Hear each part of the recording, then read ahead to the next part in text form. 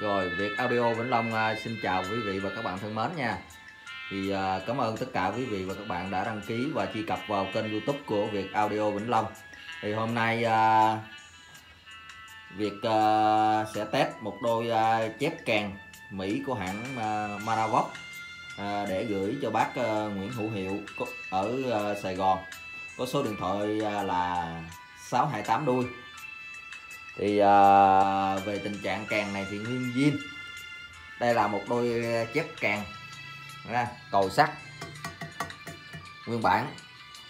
Thì à, ở đây là dây này là dây của nó luôn tháo từ trong lo ra.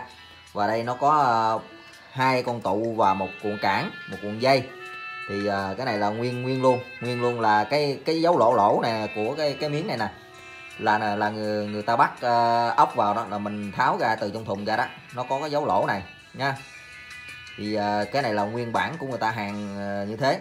Thì theo bác hiệu bác nói dây tùm lum thì em cũng không biết sao nữa. Nói chung ta hàng sao thì mình xài vậy thôi.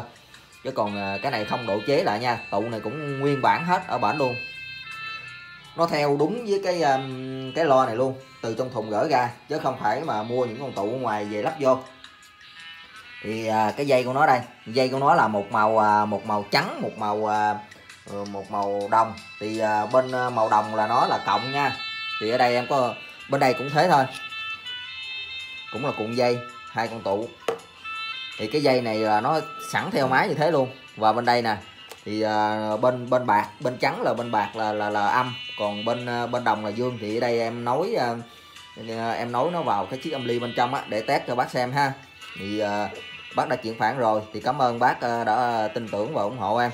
Thì uh, xong clip này thì em sẽ đóng gói uh, thật là cẩn thận để uh, gửi cho bác. Đây là một cái uh, cái kèn của hãng Maravox đó. Ha bốn vậy là biết uh, nó kêu uh, nó không phải không phải mà bằng ấy đâu không phải bằng mũ bằng mũ nó kêu có tiếng khác. Ừ. nguyên zin. Rồi thì à, bây giờ em à, sẽ à, test để à, bắt à, nghe là cái kèn này còn hoạt động tốt nha. À, sử dụng nguồn nhạc trên kênh youtube. Đợi em tí xíu.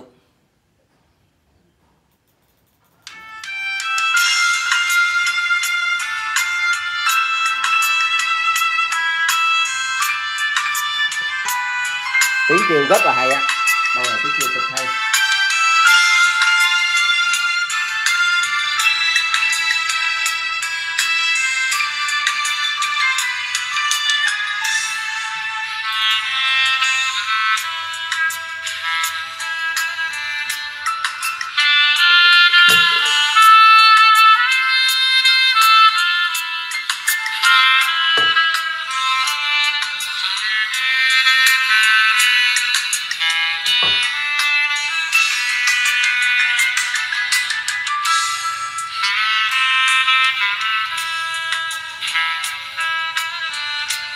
Rồi chào bác nha.